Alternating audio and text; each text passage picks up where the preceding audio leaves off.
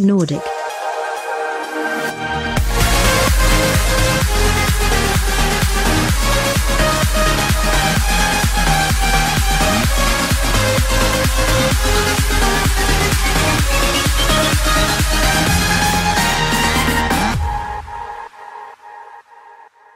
bonjour à toutes et à tous, bienvenue ici pour euh, cette tranche jurassienne. C'est une tranche jurassienne raccourcie qui s'est déroulée entre l'Amoura et les Rousses ce dimanche 12 février 2023.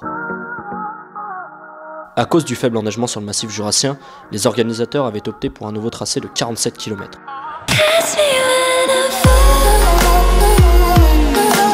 À l'Amoura, ils étaient plus de 2500 concurrents à prendre le départ.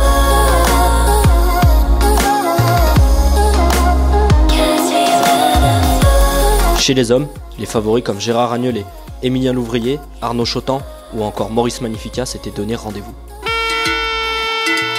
Dans un groupe de 10 coureurs pendant la majorité de la course, les plus costauds se sont fait la peau en fin de parcours.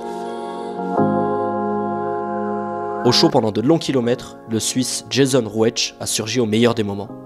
Dépassant Maurice Magnifica peu avant le finish, il s'offrait là un succès de prestige. Ah, it's beautiful. It's always nice to have a victory, especially with this this field along of strong competitors, and it feels beautiful. Huh? It was your first time in the in the Transjure, or? Yeah, it was the first time here uh, racing the La Transjure We're often here in summer in Premano, uh, training with our team, but uh, never never in winter. And I have to say, it's beautiful tracks. Uh, the atmosphere was uh, crazy. It was uh, the crowd? They were all yelling, and it's almost like in a World Cup. That's beautiful here. Huh? I like the French guys. Lui, il découvrait la tranche jurassienne. Maurice Magnifica terminé deuxième à quelques jours des mondiaux de Planica. Ouais ouais bah euh, c'était pas l'objectif principal euh, en tout cas voilà j'avais pas d'ambition. Le coach il m'a dit bon bah allez vas-y tu l'as fait finalement tu restes dans le peloton tu et tu joues le t'essayes de plutôt accélérer à la fin voilà, donc euh, c'est le but, c'était bien. Et c'est Arnaud Chotan qui prenait la troisième place. Je, suis content, c'était une super course, super plaisant. Ça, a bien frotté. Il y a eu un beau peloton, euh, du bon public, donc euh, c'est des journées qui font plaisir, voilà.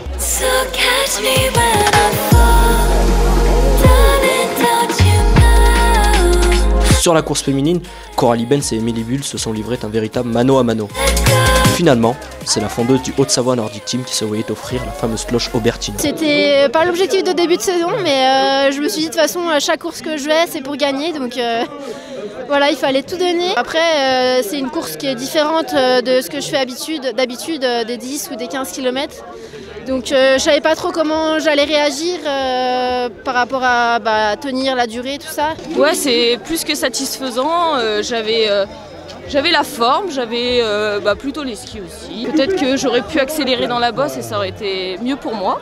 Mais voilà, c'est un fait de course et puis je suis très contente de la place que j'ai fait et de la forme que j'avais. L'américaine Cathy Feldman prenait également place sur le podium de cette tranche jurassienne ensoleillée. So fun, I mean, such a beautiful day for it and um, the course was amazing. It was so fun going in and out of the woods and so much varying terrain and you know, the women went out really fast, so I had never done this race before. I just really wanted to keep up as long as I could and see how it worked out. And it was, yeah, really fun today. So